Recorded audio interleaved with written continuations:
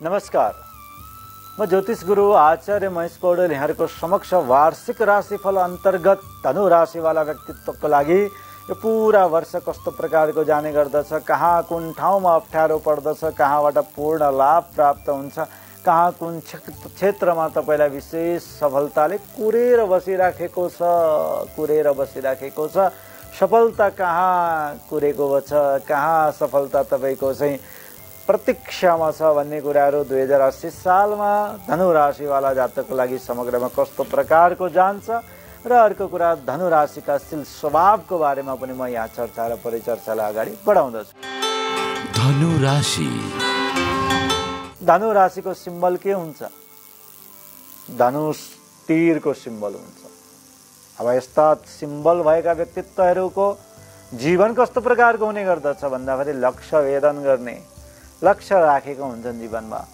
म यहाँ पुग्छु यो वर्षमा यो काम गर्छु यो वर्षमा यो काम गर्छु यति महिनामा यति काम गर्छु त्यति महिनामा त्यति काम गर्छु। पुरा लिस्ट बनाएर कोठानेरी कहीँ टाँगेका हुन्छन् र तद अन्तर्गत जीवनमा लक्ष्यलाई वेदन गर्ने प्रयास गर्छन्। तर के धनुष चलाउन जानेका छन्? धनुष चलाउन जानेका छन् कि छैनन् भन्ने कुरा पनि महत्त्वपूर्ण हुने गर्दछ। आउनुहोस् अब तपाईँको जीवनमा धनुष चलाएर तपाईँले लक्ष्यलाई कसरी प्राप्त गर्न सक्नुहुनेछ? धनु राशिवाला व्यक्तित्वहरूको लागि राशि स्वामी भनेको जुपिटर यानि बृहस्पति हुन्छन् जो बृहस्पति सर्वाधिक शुभ ग्रह हो। र साथसाथै देवताका गुरु पनि हुन्। तसर्थ जीवन आध्यात्मिक रहन्छ तपाईँको धार्मिक स्वभावको हुनुहुन्छ। परोपकारका नेचर नेचरहरू भावनाहरू चाहिँ प्रबल रूपमा रहने गर्दछन्। किन भन्दा देवगुरुको अंश छ यो राशिमा। तसर्थ यस्ता धनु राशिवाला व्यक्तित्वहरू जीवनमा सात्विक भावनाको साथमा सफलतालाई प्राप्त गर्न सक्छन् र आफ्नो लक्ष्यलाई भेदन गर्न सक्छन्। तसर्थ यहाँहरूले बिहिबारको दिन शुद्ध रहनुपर्छ। बिहिबारको दिन शुद्धता धारण गर्नुपर्ने हुन्छ। भगवान् विष्णुको पूजन कृष्णको पूजन गर्नुपर्ने हुन्छ। कृष्णाय वासुदेवाय।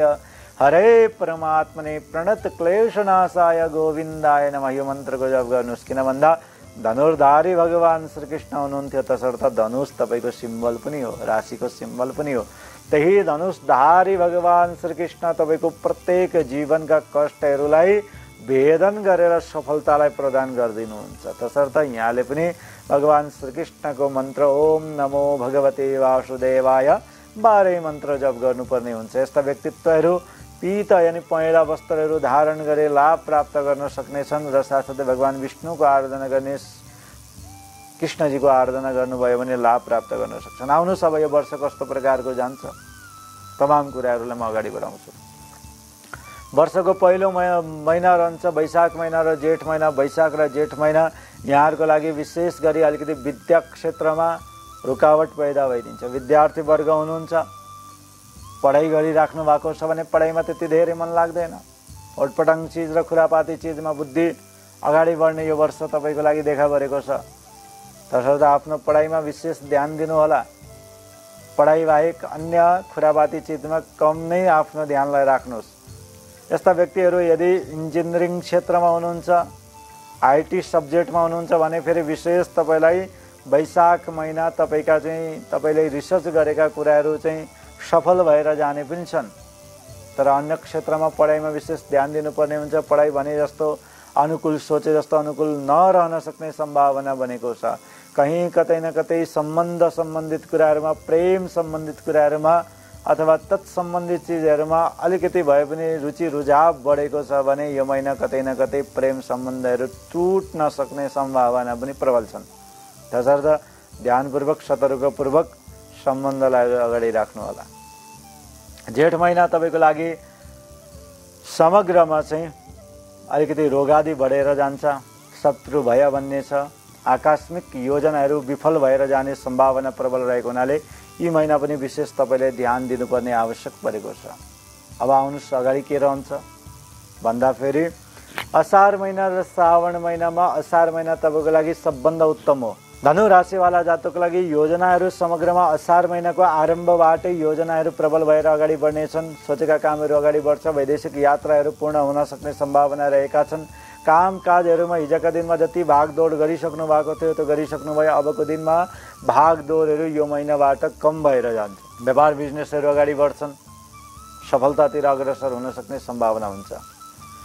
श्रावण महिनाको दिन विशेष ध्यान दिने होला साउन महिना त्यति धेरै योजनाहरू अगाडि बढ्न सक्दैन यो महिनाबाट कुनै कामहरू गर्छु भनेर सुरुवात गर्न खोज्नु भएको छ व्यापार बिजनेसहरू अगाडि बढाउन खोज्नु भएको छ भने एकदम सल्लाह सुझावका साथमा निर्णय लिएर अगाडि बढ्नुहोस् आकस्मिक घटना घाटाहरूका योजनाहरू पनि आउँछन् घाटा बेहोर्नुपर्ने स्थितिहरू आउँछ कतै न कतै धनहरूले खाइदिन सक्ने सम्भावना रहन्छ धन हानि हुन सक्ने सम्भावना रहेको छ वाहन आदि खरिद गर्न चाहनुहुन्छ भने एकदम विचार पूर्ण गरे पुऱ्याएर वाहन आदि खरिद गर्नु होला। अन्यथामा वाहनबाट पनि पूर्ण लाभ प्राप्त गर्न सक नसक्ने स्थितिहरू बनिदिन्छन्। तसर्थ साउन महिनामा विशेष ध्यान दिने। भदौ असोज र कार्तिक तिन महिना तपाईँको लागि एकदम श्रेष्ठ जान्छ। भनेभन्दा अपेक्षा सोचेभन्दा अपेक्षा गरेभन्दा अपेक्षा गरेभन्दा माथिका पूर्ण लाभ प्राप्त गर्न सक्नुहुनेछ। तमाम योजनाहरू अगाडि बढ्छ। राजकीय पक्षबाट मान सम्मानका साथसाथै तपाईँलाई चाहिँ गभर्मेन्ट सेक्टर सम्बन्धित कुराहरूमा विजय प्राप्ति हुने लाभ प्राप्ति हुने र साथसाथै वैदेशिक यात्रा व्यापार जस्ता बिजनेस जस्ता चिजहरूमा अग्रसर हुन सक्ने सम्भावना प्रबल रूपमा रहन्छ। कुनै सेयर सम्बन्धित या बिजनेस सम्बन्धित कारोबार गर्न चाहनुहुन्छ भने उचित समय तपाईँको लागि रहेको हुनाले यी समयमा योजनाहरू आकस्मिक धन लाभका योग योग आदिहरू बढेर जान्छ। यो तपाईँको लागि समग्रमा उत्तम नै हो राम्रै नै हो।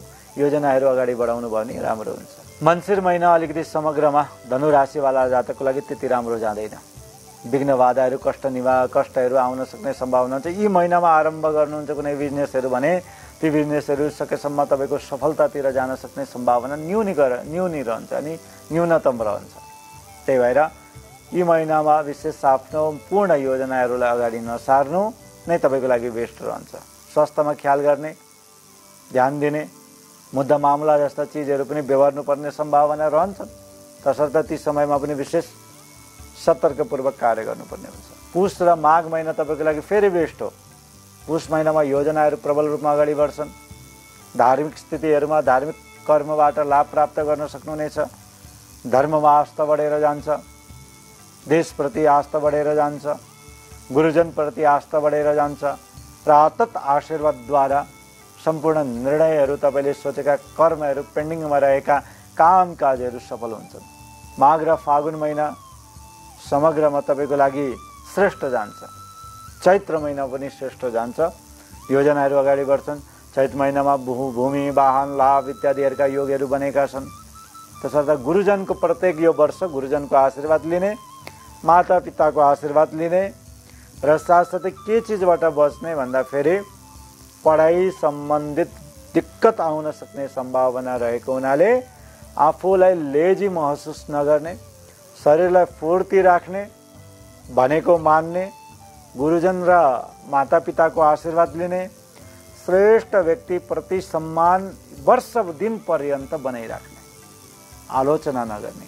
कतै मुखबाट गुरु निन्दा भयो भने दोष लाग्छ यो वर्षमा अधिक। गुरु निन्दा सकेसम्म तपाईँबाट नहोस्। यो कुराको ध्यान दिनुहोस्। मन क्रम बाणीहरू शुद्ध रहन्छन् पवित्र रहन्छन्। सकेसम्म बिहिबारको दिन अवक्ष भक्षण मांसादि भक्षण पदा मदिरादि भक्षणहरू नगर्नु होला। बेस्ट रहन्छ। किन भन्दा देवगुरुको कृपा आशीर्वाद पुरै वर्षलाई प्राप्त गर्न सक्नुहुनेछ। तत् अन्तर्गत पनि कृपाद्वारा नै सबभन्दा राम्रो फल प्राप्त गर्न सकिन्छ। कृपा सबभन्दा ठुलो कुरा हो हेर्नुहोस् हामी सफलताको निमित्त कैयौँ सिँढीहरूमा पाउ राख्ने गर्छौँ। तर के ती सिँढीहरूमा भगवान्को कृपा बनेका हुन्छन्? जहाँ परमात्माको कृपा रहन्छ त्यो सिँढी काँडा भए पनि फुलकै समान हुन्छ। तसर्थ यो पुरै वर्ष पर्यन्त शुद्ध भोजन गर्नुहोस् सात्विक विचार राख्नुहोस् श्रेष्ठ रहनेछ।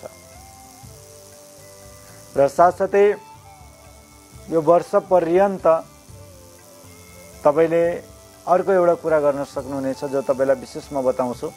त्यसलाई पनि अप्नाउनु भयो भने लाभ प्राप्ति हुन्छ।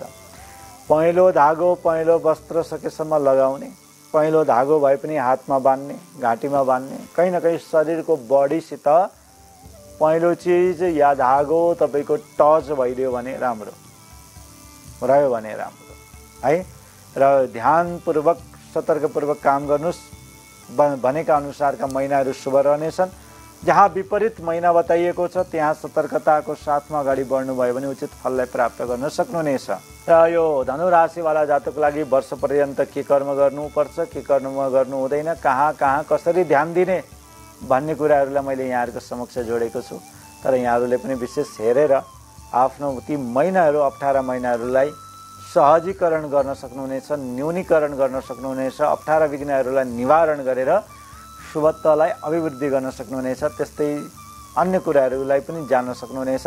यो वार्षिक भविष्य अन्तर्गत फल जो रहेको छ। धनु राशिवाला जातकको लागि समग्रमा मैले तपाईँको समक्ष राखिसकेको छु भने त्यसको निमित्त हाम्रो प्रत्येक भिडियोहरूलाई सब्सक्राइब अवश्य गरिदिनु होला यति भन्दै म कार्यक्रमबाट विदा लिन्छु। जय श्रीराम।